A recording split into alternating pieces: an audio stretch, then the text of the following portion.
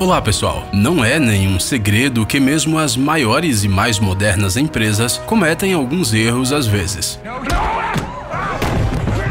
Bom, isso acontece porque, primeiramente, somos todos humanos. Em segundo lugar, quando muitas pessoas trabalham ao mesmo tempo em um projeto comum, alguém sempre acaba fazendo algo errado. Imagine o que aconteceria, por exemplo, se durante uma apresentação de um novo produto da Microsoft, alguém trouxesse um MacBook por engano e o colocasse em um lugar bastante visível. Pois é, seria um verdadeiro escândalo. No vídeo de hoje, reunimos para vocês 10 fails épicos de grandes empresas empresas. Vamos lá!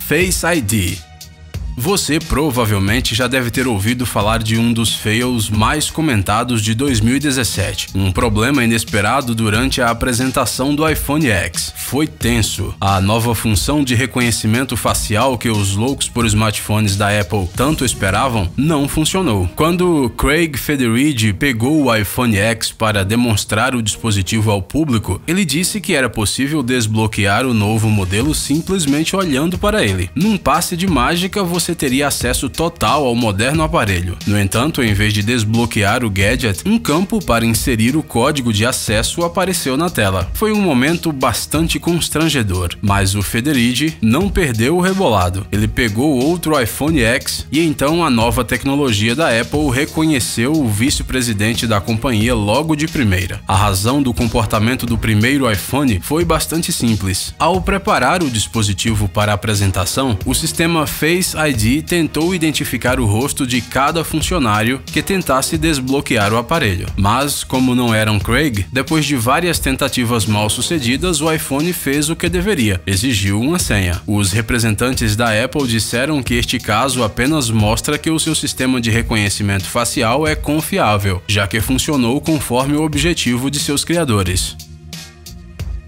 iPhone 4 sem internet.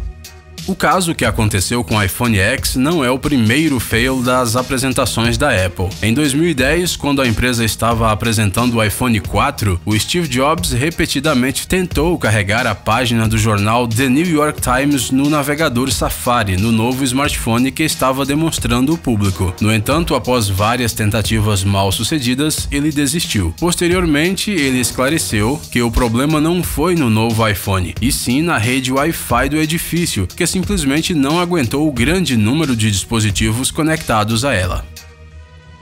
Sem freios. Em 2010, durante a apresentação de seu sedã esportivo S60, a empresa sueca Volvo planejava demonstrar o seu novo sistema de frenagem automática. O carro deveria realizar uma freada de emergência se um objeto inesperado aparecesse no seu caminho. O problema foi que durante a apresentação da tecnologia, o sedã decidiu não frear e bateu no caminhão que estava na sua frente.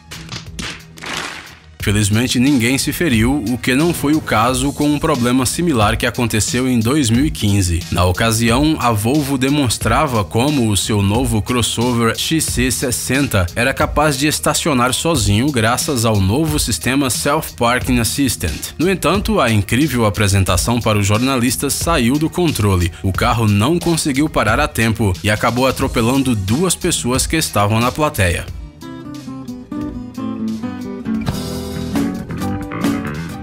Parece que os engenheiros da Volvo definitivamente estão fazendo algo errado. Tablet da Microsoft travando.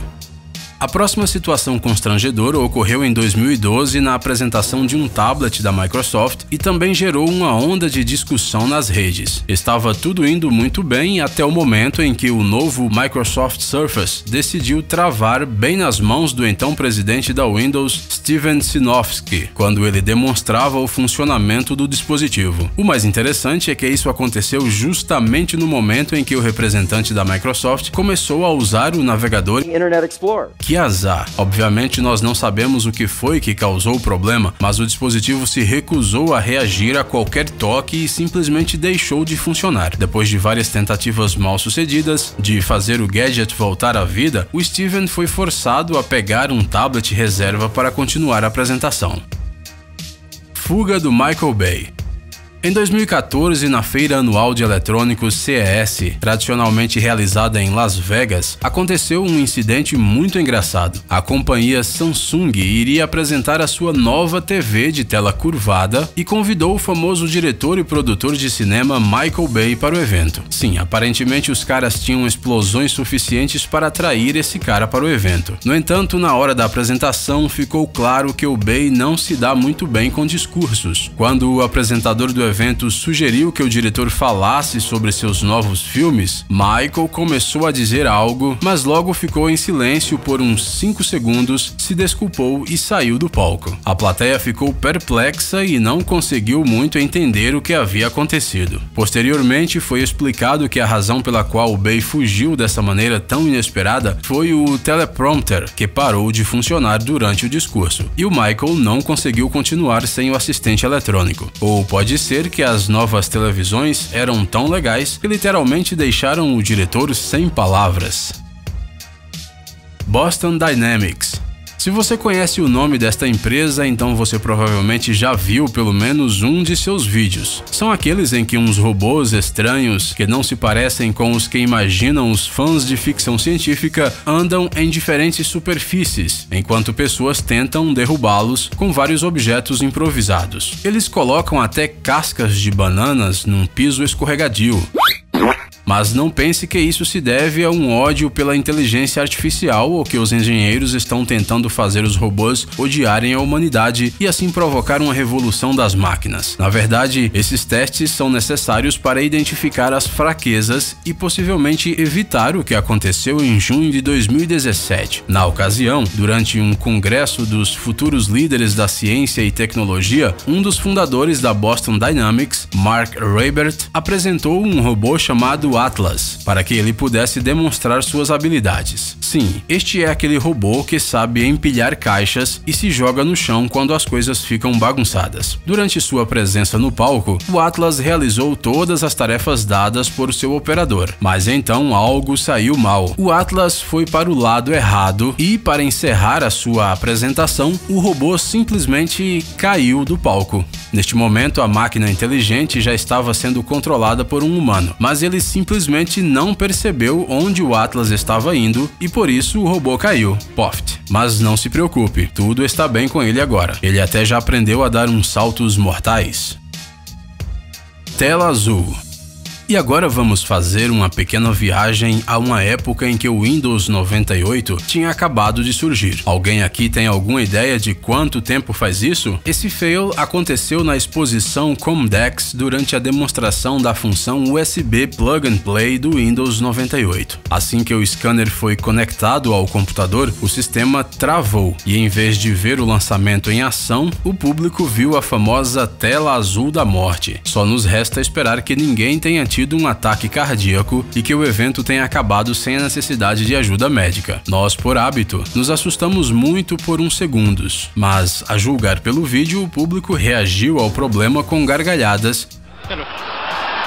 E o Bill Gates até brincou que as vendas do Windows 98 ainda não tinham começado justamente por causa desse erro. Dificuldade familiar. Querem ouvir mais uma história sobre outra falha nas apresentações da Microsoft? Achamos que as pessoas gostam dessas histórias tanto quanto as da Apple. Dessa vez era o Windows Vista que estava em cena. Esse sistema certamente pode se vangloriar dos erros muito mais ridículos, mas problemas durante a apresentação oficial são muito mais engraçados do que qualquer outro, certo? Em um evento oficial, um funcionário da empresa planejava demonstrar para o público as novas funções de reconhecimento de fala, mas de repente as coisas começaram a dar errado. A ideia era que o jovem ditasse uma carta para sua mãe, mas o sistema entendeu errado e escreveu titia no lugar de mamãe. Por quê? Na verdade, não fazemos nem ideia. Pode ser que a máquina sem alma simplesmente não entendia nada das complexas relações humanas. Mas esse não foi o único problema durante a apresentação. Quando o apresentador tentou apagar o que estava errado com um comando de voz, o Vista confundiu tudo outra vez e continuou digitando o texto. Felizmente era só um comando de texto simples e não um comando para exterminar a humanidade. Senão, essa apresentação poderia ter acabado muito mal se não fosse impedida a tempo. BlackBerry e Apple Quando a BlackBerry anunciou a nomeação da estrela pop Alicia Keys como diretora criativa da empresa, a ideia parecia ótima. O problema foi que pouco tempo depois, um tweet foi publicado na conta oficial da cantora utilizando um iPhone. Ai, isso sim é constrangedor. Obviamente, a mensagem foi rapidamente eliminada e a própria Alicia anunciou que a publicação tinha sido feita por hackers e que ela mesma usava apenas os produtos BlackBerry. Só nos resta acreditar na palavra dela. Mas espere um minuto. Alguns anos mais tarde, alguns usuários atenciosos encontraram uma postagem publicitária na conta oficial da empresa no Twitter, feita através da mesma aplicação da Apple. E isso aconteceu mesmo com a existência de um cliente especial do Twitter para BlackBerry. É, ficou meio estranho.